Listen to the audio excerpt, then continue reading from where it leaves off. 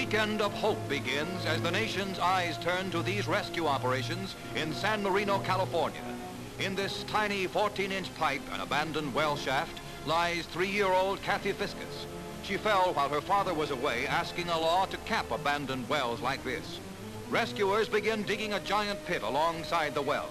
Since Kathy fell, no one knows how deep, she has been heard but once. Meanwhile, oil drilling equipment sinks a shaft parallel to the well. This pipe shaft is temporarily abandoned when the drillers strike rock. From the large pit, rescuers cut a window in the well at 57 feet. Cave-ins force abandonment of the large pit. Then work switches back to the pipe shaft. The 94-foot mark is reached after 42 hours. Whitey Blickensderfer, outstanding hero of the rescue try, is brought up on the verge of exhaustion. Water is seeping into the well but Kathy's body has been reached. Dr. Robert McCulloch, the Fiscus family doctor, begins the dangerous descent. It is 52 hours since Kathy fell. The nation holds its breath.